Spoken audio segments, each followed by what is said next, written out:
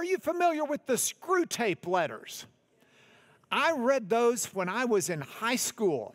C.S. Lewis wrote those, and the, the idea behind them is there is this big demon named Screwtape, and he's got a nephew named Wormwood. And Wormwood is just out there as a novice demon, and he's got this fella that he's in charge of trying to deceive and ruin the life of.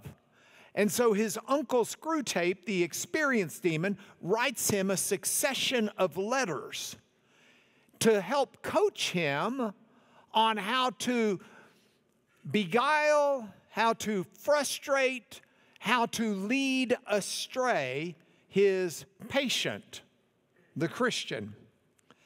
And it's got some really interesting concepts of how Satan tries to get at us. And I thought I'd start this morning with a couple of quotations out of the Screwtape Letters. The demon, Screwtape, tells his novice demon nephew, one of our great allies at present is the church itself. Because the church, when it's not the witness for Christ it should be, not only fails to shine the love of God into the world, but actually can turn people away from God. The church, when you can't trust uh, people in the church, it causes people to say, bunch of hypocrites, I'm not going there. The church is something that needs to be carefully experienced and it's not full of perfect people, it's full of imperfect people. But it needs to reflect the love of God. Next quotation You must bring him, your Christian, to a condition in which he can practice self examination without discovering any of those facts about himself which are perfectly clear to anyone who's ever lived in the same house with him or worked in the same office.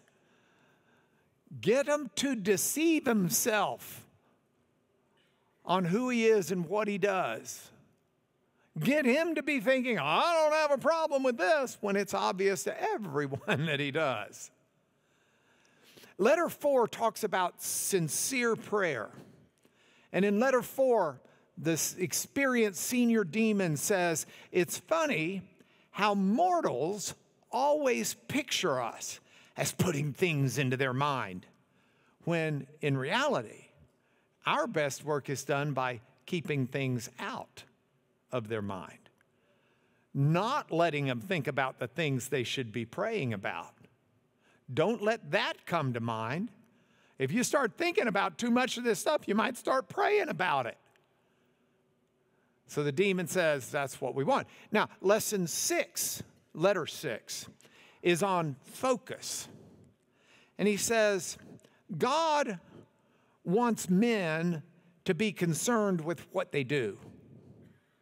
Our business is to keep them thinking about what will happen to them. God may want you to do A. But the demon's goal is to make you think not, oh, God wants me to do A, but instead to think, if I do A, B might happen. That would not be good. And then the last thing that I'll illustrate for a point here is the letter on troughs and peaks, those high points in life and those low, despairing moments. And the senior demon says, Our cause is never more in danger than when a human asks, Why has he been forsaken? and still obeys. See, all of us go through those valleys of life. And in those valleys of life, if we sit there and say, Well, why have you forsaken me, God? And then we just go off and binge on whatever it is that satisfies us there's a difference between that response to the problems in life and the response that says, I don't see God right now. I don't feel God. I'm not experiencing God's highs right now. I'm in despair. I feel defeated, but I will still obey my Lord. And that's a very big step of faith. Now, I start the lesson with this because we're in a section of Revelation that is giving insight into the spiritual battle that all of us face.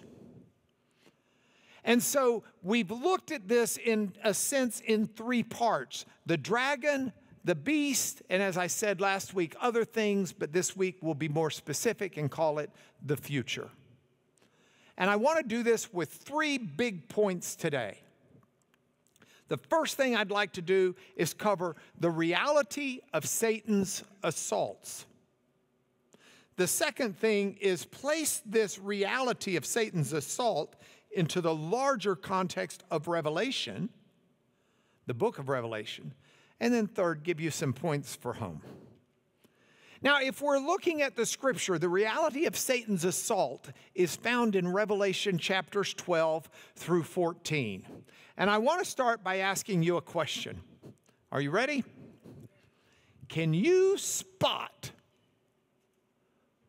Can you spot the famous fairy tale princess? If you can, raise your hand. All right, how many of you can also spot a famous literary figure? Yeah. Sherlock Holmes is right there, isn't he? Uh huh. Uh huh. There he is. You know, sometimes what we see is not always all there is.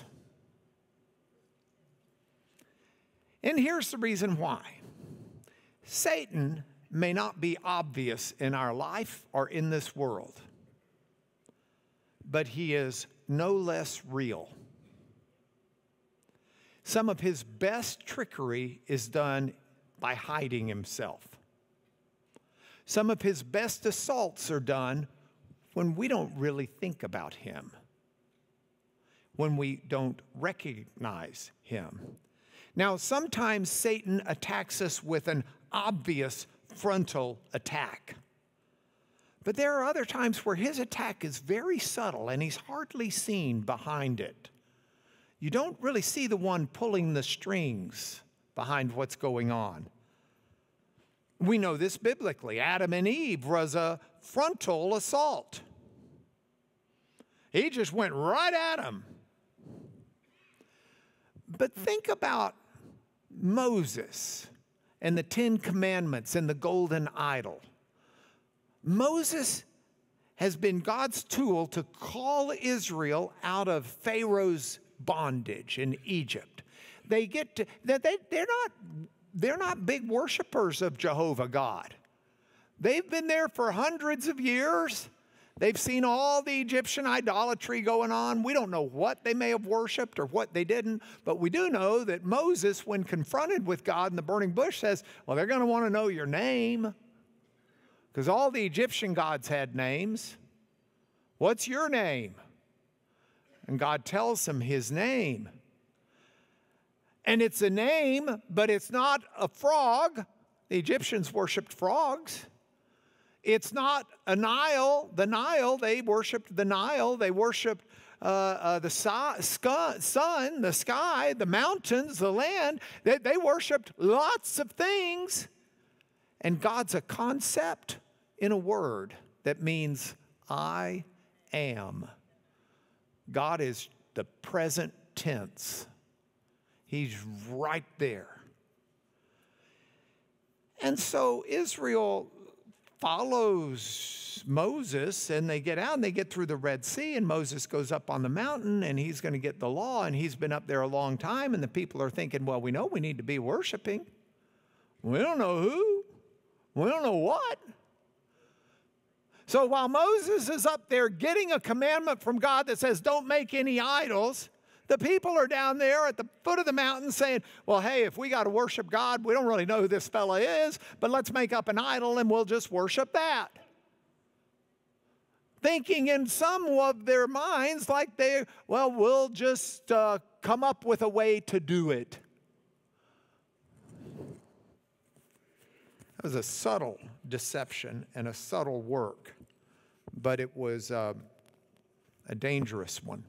Now, we are part of an ongoing war, and Revelation has made that clear. This is not a new thing where Satan comes after us. This is what he's been doing. So, as part of this ongoing war, sorry, we are having microphone issues. As part of this ongoing war, we read in Revelation that the dragon, which is Satan, has been trying to destroy Christ and his people. And that's been going on during the age of the church, even the age of what we might call a pre church with Israel. But the dragon trying to destroy Christ and his people is going all the way to the second coming. That's what he's about. And that's why Revelation 12 sets this up by saying, Another sign appeared in heaven. Behold, a great red dragon with seven heads and ten horns, and on his head seven diadems, and his tail swept down a third of the stars of the heaven and cast them to earth, those stars being angels. And so Satan tries to devour the Christ child. He tries to stop the Christ child from coming into being. He tries to ruin the lives of the descendants of the Christ child, the church. And he calls forth two beasts. They're different beasts. The first beast he calls forth is the beast from the sea, and the second beast is the beast from the land. Now, the beast from the sea we talked about last week, that's the hand of Satan. That's his, his uh, working army, his working force in some ways. But the beast from the land is a little different. That's Satan's mind. Satan's hand is that full frontal assault of the Roman Empire. Uh, uh, uh at the time that this letter is being written, the Roman Empire was in war against Christianity, and it was doing so as the hand of Satan. And, and, and I think the point is there for all of us for all time. Any entity that trumpets any Lord God other than the Lord God Almighty is in the hand of the enemy. Revelation 12 15 describes this work of the beast of the sea, saying the serpent poured water like a river out of his mouth after the woman, the, the, the offspring of uh, the, the God's people. Read that as God's people. A- after the God's people, to sweep her away with a flood. And, and this is what was happening. And, and, and Satan brings every kind of delusion every kind of onslaught, every kind of persecution, trying to sweep away God's people. And several verses later, it says, the dragon becomes furious with God's people and went off to make war on the rest of her offspring, on those who keep the commandments of God and hold to the testimony of Jesus. That is who the woman is, that's who God's people are. Now, if we go back historically and we put ourselves right smack dab in the center of when this revelation is being written, we can read from Cornelius Tacitus. He is accorded as one of the greatest Roman historians of all time, but he was a contemporary of John. And as a contemporary of John, at this time in history that the revelation is being given, Cornelius Tacitus is writing about Nero's fall. Nero was the emperor of Rome at a time when a good bit of Rome burned down. There was a huge fire in Rome, and all of the people rumored that this fire was actually started by Nero because it just happened to gut the neighborhoods that Nero wanted for himself to build his new palace. And then from there it spread out and destroyed most of Rome. So Nero's trying to cover his tracks. And so he starts giving gifts to the people. He's trying to do anything to quell the discontent and riots. And Tacitus writes, now, this is not the Bible. This is a historian, one of the best ones we've got. All human efforts, all the lavish gifts of the emperor did not banish the sinister belief that the fire was the result of one of Nero's orders. So, to get rid of this report that it was Nero's fault, Nero fastened the guilt and inflicted the most exquisite tortures on a class hated for their abominations, called Christians by the populace. Nero blames the Christians, hated for their abominations. Do you know why? Other reports we have from ancient history the early Christians at this time were cannibals because they ate the body and blood of this fellow named Jesus in their little secret church meetings. And the Romans and the rumors were that the Lord's Supper was actually acts of cannibalism by people who just knew no better. But hated for their abominations, called Christians by the populace. Christus, which is the Latin form of Christ, from whom the name had its origin, suffered the extreme penalty, capital punishment, during the reign of Tiberius at the hands of one of our procurators, Pontius Pilate. Don't ever let anybody tell you that Jesus Christ is not a historical person. He continued, mockery of every sort was added to the deaths of the Christians that were blamed for the burning in Rome. Covered with the skins of beasts, they were torn by dogs and perished, or were nailed to crosses, or were doomed to the flames and burned to serve as a nightly illumination when daylight had expired. Nero offered his gardens for the spectacle, would hang them up set them afire, and let them burn as a torch in his garden. This is what's going on while John's writing the Revelation. Satan had a full frontal assault from the Roman Empire on God's kingdom, on God's people, on, on uh, uh, the woman. But that's the full frontal assault. That's the beast from the sea. Look at the beast from the land today, Satan's mind. And it's, it's really interesting. This is the more subtle assault. So this starts in chapter 13 with verse 11. Then I saw another beast rising out of the earth. It had two horns like a lamb, and it spoke like a dragon. Now it's rising out of the earth because this is a reflection of earthly wisdom, of earthly philosophies. Be thinking of things like James. In James chapter 3, verse 15, we read about wisdom and the difference between wisdom above and below. James says, Who's wise and understanding among you? By his good conduct, let him show his works in the meekness of wisdom. But if you have bitter jealousy and selfish ambition in your hearts, don't boast and be false to the truth. This is not the wisdom that comes down from above. This is earthly, unspiritual, demonic.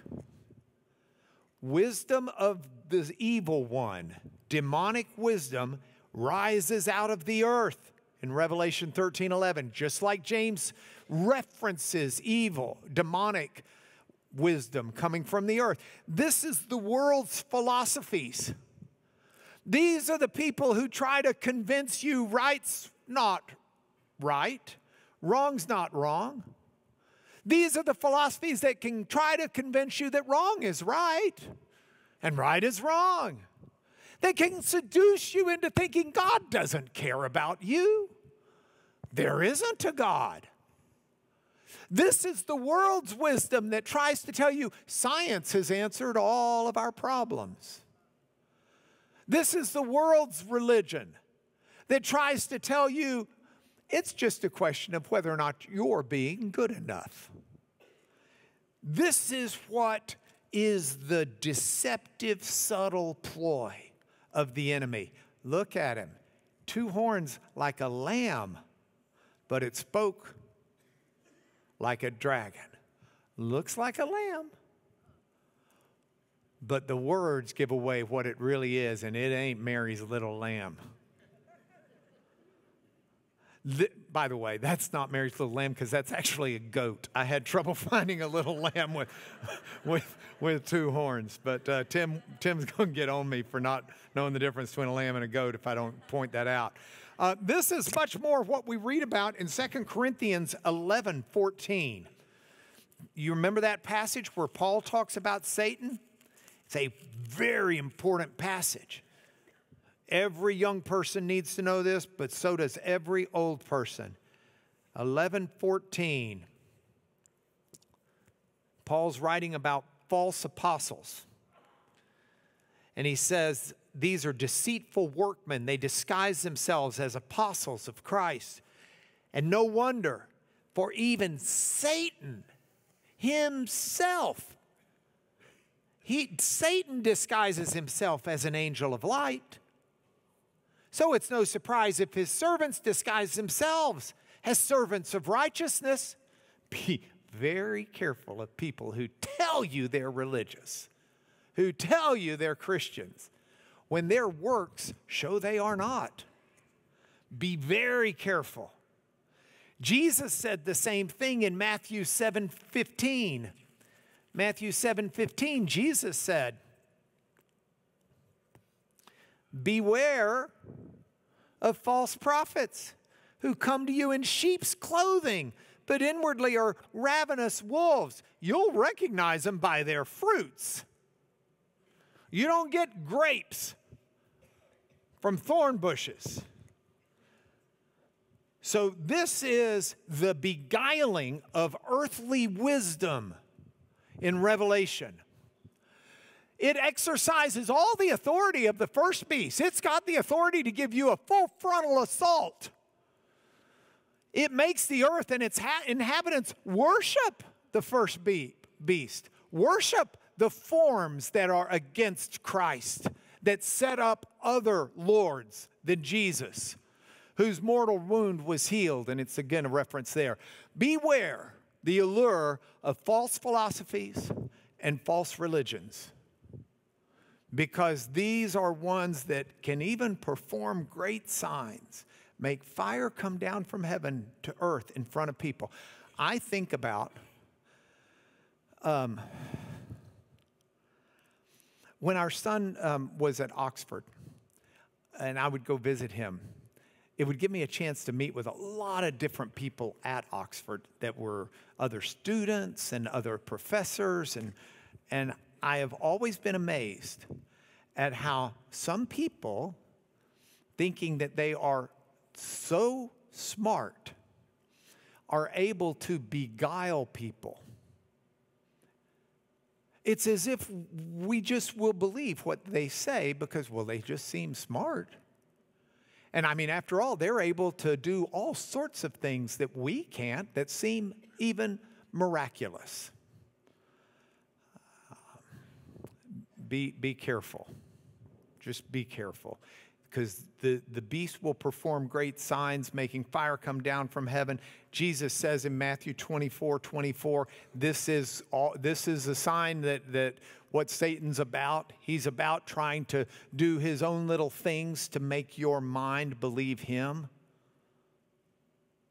By this signs, it's allowed to work in the presence of the beast. It deceives those who dwell on earth. That's what it's about. Deceiving us, telling them, make an image for the beast that was wounded by the sword and yet lived. In the immediate context, that's Roman Empire, but it's much broader than that. This is any institution, any philosophy, any idea that sets anyone on the throne other than Jesus Christ. Jesus Christ alone deserves our worship and adoration. Jesus Christ alone we live for. Jesus Christ alone is our motivation for what we do. Jesus Christ alone is our measuring stick for what's right or wrong. And I don't care what company you might work for, I don't care what school you might go to, I don't care what government you might live under anybody or anything that puts someone other than Jesus Christ on the throne is a beast. And any philosophy that tries to convince you that that beast belongs there and that anything else is worthy of your worship or mine is from the mouth of Satan and is the tool of Satan and should never be followed. The revelation continues to say it was allowed to give breath to the image of the beast to make this worldly philosophy look so good so that it can even speak so that it might cause those who would not worship the image of the beast to be slain. This is what it's about. It is a road that leads to death. If you put anything on the throne other than Jesus, if you put yourself on the throne in front of Jesus, it causes all, both small and great, rich and poor, free and slave, to be marked on the right hand or the forehead.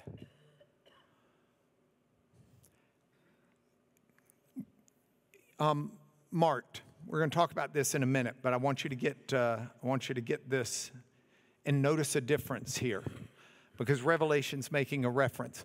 Revelation 13, 16.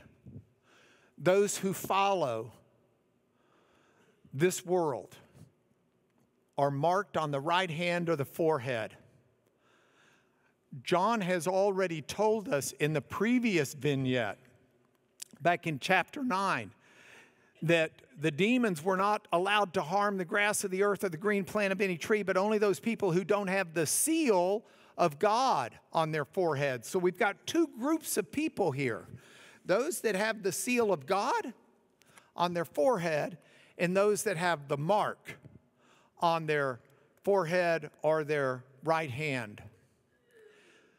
Now, you can think a literal mark or a literal seal, but this is a book of symbols and imagery that is conveying a deeper message.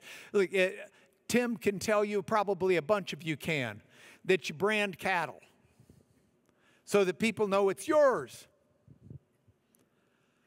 Back in the day of John and the Revelation, they not only branded cattle, they branded slaves and it shows who you belong to, who you served.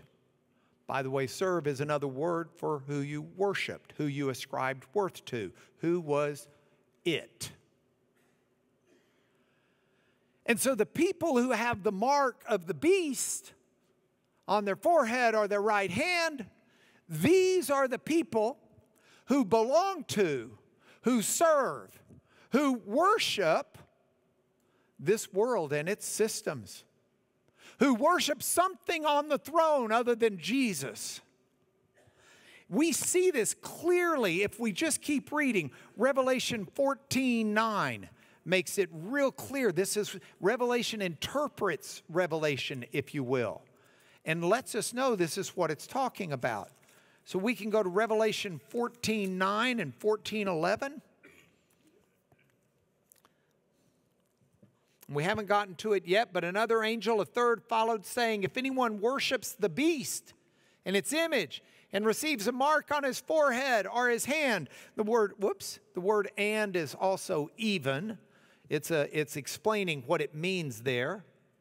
If anyone worships the beast and its image, in other words, if they receive a mark on their forehead or their hand, if that's who they worship, if they have been branded, if they walk around as if that is what is worthy of worship, then heaven help them. Because the beast will cause everyone to be marked on the right hand or the forehead. Now, the right hand is always, not always, but almost always in the Bible, a reference to where you're doing your work. Jesus sits down at the right hand of God. Jesus did the work of God. Your right hand was your working hand.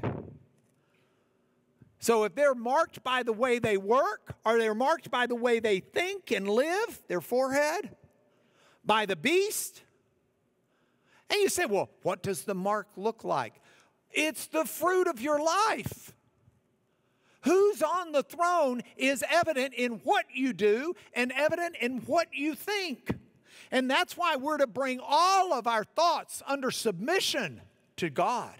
That's why we're to do everything we do, whether in word or deed, in the name of Jesus Christ. We must be putting God on the throne in the center of our life, or we are living under the seduction of the beast, of the evil one, of Satan. And it's so bad in the world. And it certainly was in the time of Revelation in the immediate sense of the Roman Empire. No one can buy or sell unless he has the mark. You will. I was told when I started becoming a lawyer, and some people understood that I wasn't only a lawyer, but that I preached in, as well, and that my faith was real to me. They said, You better divide those two up. Don't bring that faith stuff into the legal world because the legal world is not a faith world, it's a dog eat dog world. Sometimes you got to do things that are wrong. Sometimes you got to do things that are different priority. If you're going to try and bring your Christianity into your workplace, you never will succeed as a lawyer.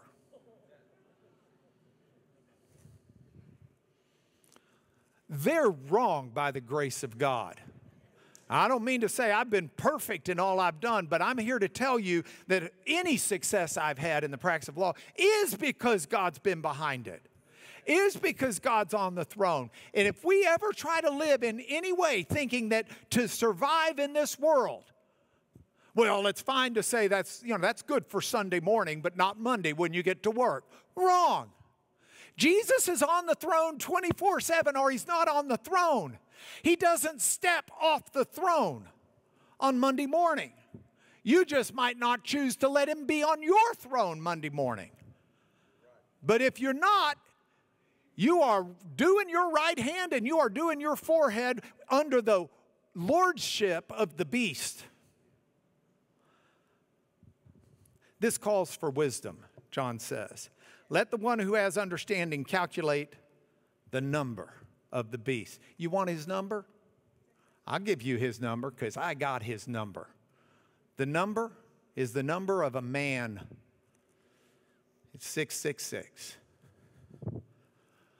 666. Now it doesn't say 666, it says 600, 6 T, tens, and 6. 666. That's his number, the number of a man. Now, people have gotten so wrapped up in this.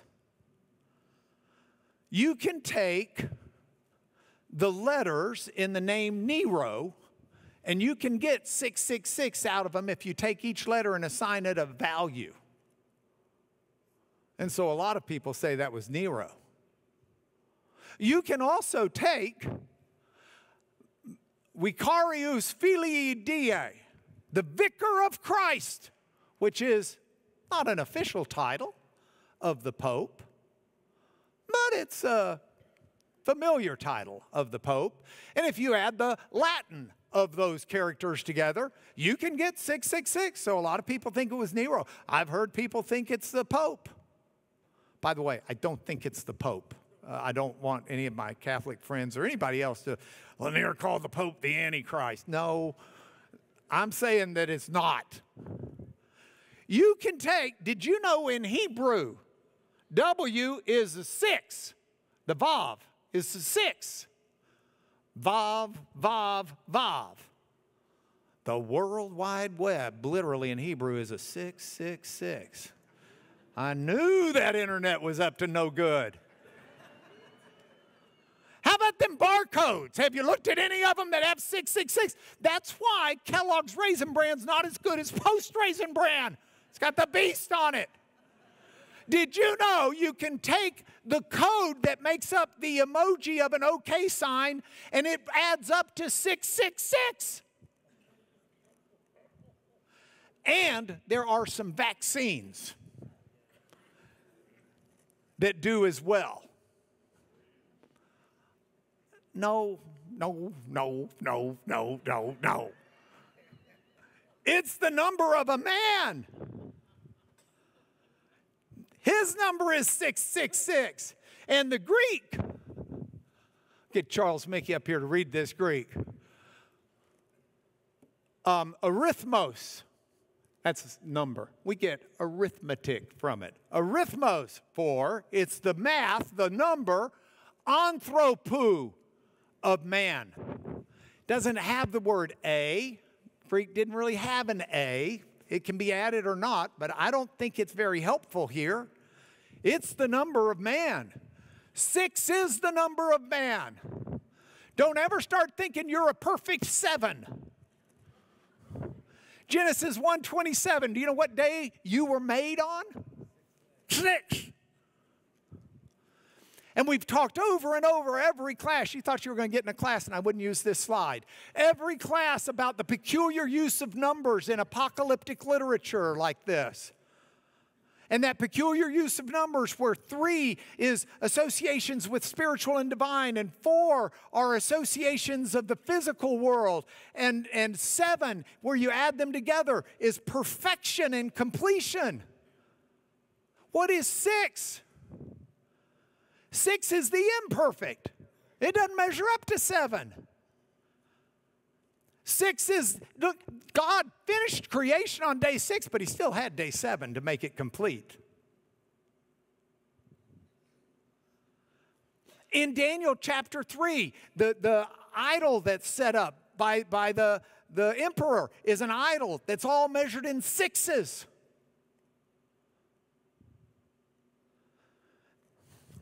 This is the spiritual warfare that's going on with us. And the mark of the beast is one that looks like it could almost be perfect, almost a seven, but it's a six. And anytime we have anyone on the throne or anything on the throne other than Jesus Christ, we have imperfection. We have all of the evils and horrors and judgment that come with following this world's systems which are just a puppet of the devil. Second point, and I'll be quick. Let's place this into the larger context of Revelation. Do you remember that Jesus Christ is the Alpha and Omega? It's, it's a reference to God in the beginning, and it's a reference clearly to Jesus in 2213. In other words, that's, that's important here. Jesus is the beginning and the end, the first and last letters of the Greek alphabet. And it's important to say that in Revelation because in Revelation, all of our visions and vignettes begin and end with Jesus. So we've got these series of vignettes that we've been looking about Christ in the lampstand with the seven letters to the seven churches. Some of them are a frontal attack, some of them are more subtle. You can look at Ephesus losing its first love. Very subtle the way they fell for that trick of Satan. You can look at Sardis, where they've fallen asleep and they're asleep at the wheel and they're not paying attention. Very subtle the way they've fallen for Satan's tricks. You can look at Thyatira, who's been seduced by Jezebel and they're walking into sin. Very subtle. You can see some that are much more frontal attacks. Smyrna is in tribulation. They're suffering the tribulation. You want to know, hey, well, when's the tribulation coming? It's already here, it was there. Go back and listen again to what Tacitus was saying. Pergamum, Antipas is roasted and toasted in the belly of a, of a torture machine. Laodicea, who's been beguiled by their riches to think they're rich when they're impoverished in the spirit. Philadelphia and the synagogue of Satan, where they're trying to live and work. All of this is, is Christ in this very vivid way, trying to, to explain from Alpha to Omega what it is like in this spiritual warfare. If you look at the second section of Revelation, the heaven and the seven seals, you've got Jesus as the only one worthy to open those seals. Uniquely, Jesus is the only one who can open the will of God for humanity. Because God's will is for redemption. God's will is for Him to make His home again with people. And that can only be done in Jesus Christ. You've got in that same thing a picture of martyrdom as people are dying because they hold to Jesus. But in the process, God takes 144,000 and He seals them. And He seals them on their forehead with the name of Jesus, which means the work of Jesus, means who He is. And we're sealed on our forehead, not that you see it here, but our mind and everything we do is, is, is claimed by God. And we read to the end there that as a result, we will find the day where there are no more tears. And that's that second vignette, Alpha to Omega. The third vignette, Alpha to Omega, whoops, get the third one up there, are the seven trumpets. And these are warnings that judgment is coming. And everything that's happening in this world today is a warning that judgment is coming. God allows tragedy to occur as a warning that judgment is coming. Bob Dylan sings, When you're going to wake up and strengthen the things that remain? Quoting Paul in Philippians. And then we're in the section we're in right now with the persecuting dragon. But all of these sections, all of these cover the age of the church to the second coming, Jesus from Alpha to Omega. And as we get to this last section in Revelation 14, it shows that the church will share the triumph of Jesus. The church shares the triumph of Jesus, and it's divided into three parts. So I want to get through this quickly, but I want you to hear it. This may be the most important part of this message. The first part is the blessedness of the redeemed. Five verses, let's cover them quickly. Then I looked, Kai Idon. That is, each of these three paragraphs will start that way, so we know there are three sections. Behold, on Mount Zion stood the Lamb, and with him 144,000 who had his name and his father's name written on their foreheads. That's us, that's the redeemed. Name, onoma, that's who he is, that's his character, but it's also his resume. It's what he's done. It's the death, burial, and resurrection of Jesus. And that's what guides the way we live. That's who we worship. That's who we're marked by. Then he continues that 144,000 with the Father's name written on their head. And I heard a voice from heaven like the roar of waters and the sound of loud thunder, but also like a harpist playing. Strong, loud, firm, and yet gentle and beautiful and melodic and they're singing a new song.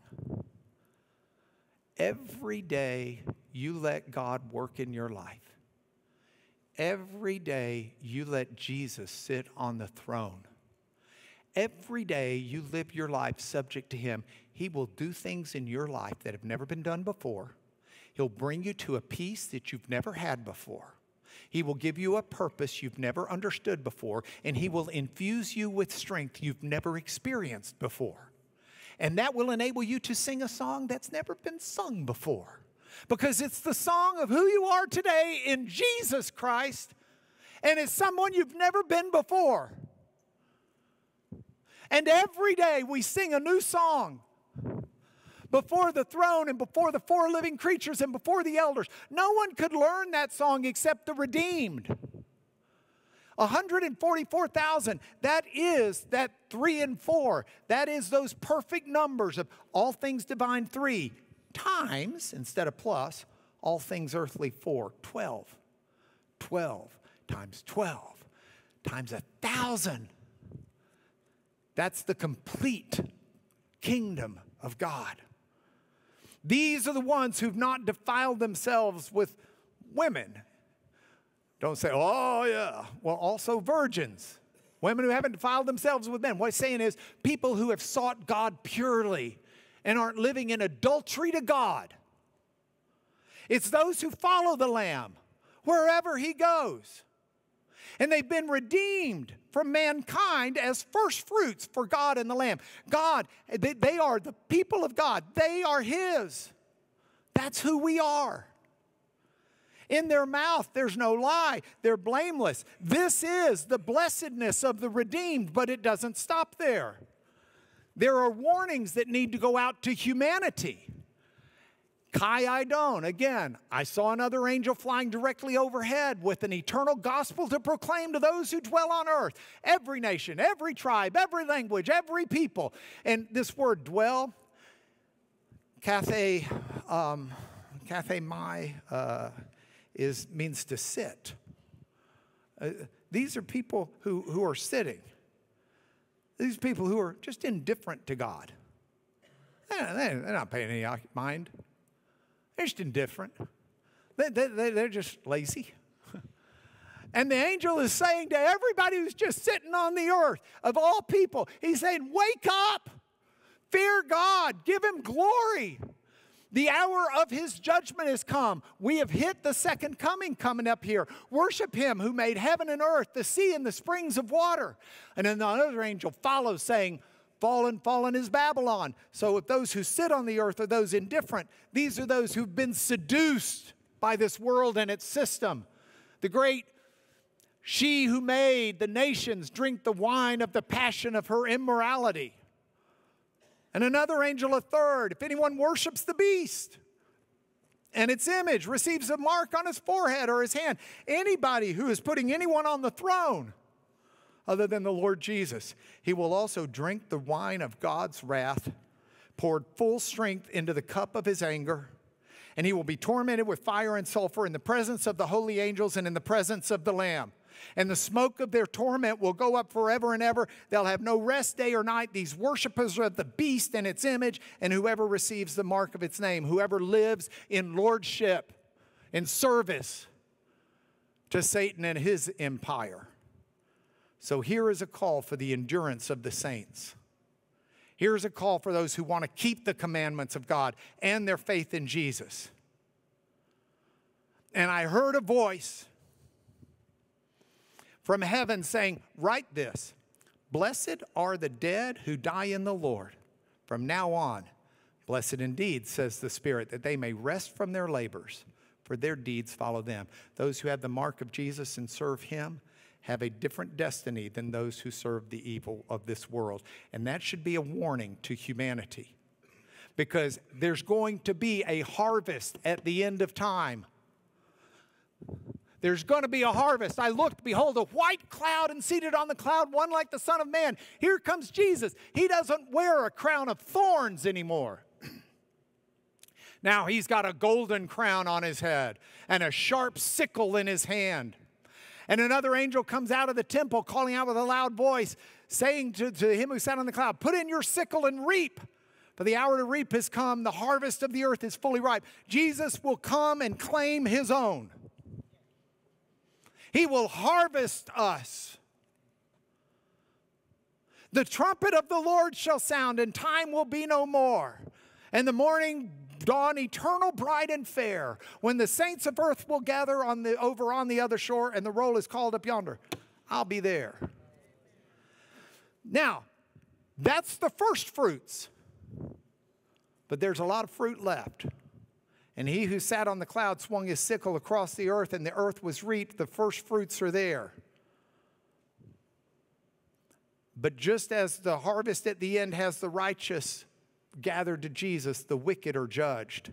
And another angel comes out of the temple in heaven, and he too has a sharp sickle. Comes out from the altar, the angel with authority over the fire says, Put your sickle in and gather the clusters from the vines of the earth, its grapes or wrath. He swings across the earth. He gathers the grape harvest of the earth. He throws it into the great wine press of the wrath of God, and it's trodden outside the city, and the blood flowed as high as a horse's bridle for 16 hundred stadia.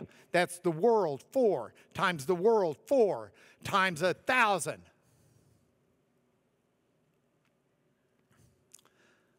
That's uh, mine eyes have seen the glory of the coming of the Lord. He is trampling out the vineyard where the grapes of wrath are stored. And so here are your points for home. First, notice something God keeps all his people. God keeps all his people. He marked 144,000, and how many did he bring home? 144,000, not 143,999. He's not missing one. All of his people he keeps. And all of his people get to sing a new song as God continues to work new and fresh in our life.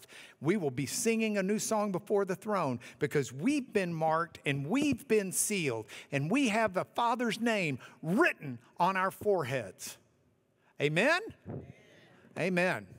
Pray with me. Father, we give you all glory and honor and praise as the victor, the champion. We confess we're not good at keeping you on the throne. We confess, we listen to the allure, to the siren song of the wicked, evil one.